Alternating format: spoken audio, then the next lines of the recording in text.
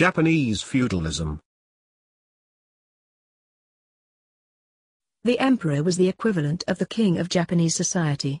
They descended from a family in 660 BCE. In the Nara and Heian periods he was the supreme ruler and his word was law. After the Heian period he started to become less powerful and eventually became just a puppet to the shoguns. In modern times, he is almost powerless and is just a figurehead. Originally, in the Heian period, the shogun was the term given to the leaders of the army. Although in the later years the shoguns started to seize land and control it with their own personal army.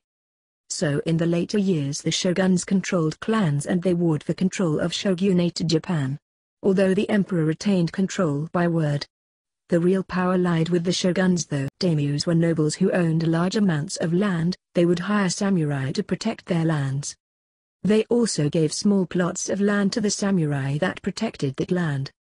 During the Kamakura period, after the shoguns became the real power, the shugo were appointed as the governor of land that the shoguns controlled. They made sure that taxes were paid to the shoguns while taking a small piece of the money. They also made sure the laws were followed and peace maintained. Their power superseded the daimyo threatening their power.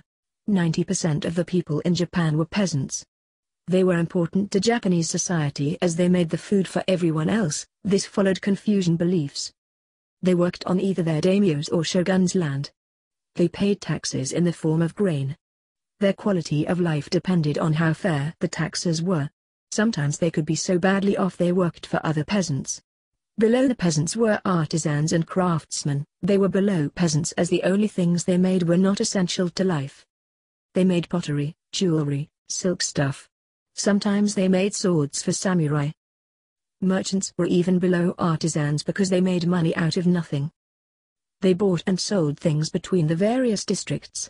Once trade was opened with China they became very rich. Their social status changed after the 19th century industrialization of Japan. Hinin were known as the outcasts of Japan. Hinin translates directly to non-people. They would take the worst jobs like execution, butchery, tanners, and undertakers. These jobs were considered unclean in Shinto and Buddhist belief systems. Ronin were samurai who no longer had masters and so were part of the Hinin. Either they would beg for a living, turn to crime, or learn new skills and become an artisan or merchant. That was Japanese feudalism. Make sure to have a nice day, and don't forget to leave a comment, like, and subscribe. The next topic could be suggested by you.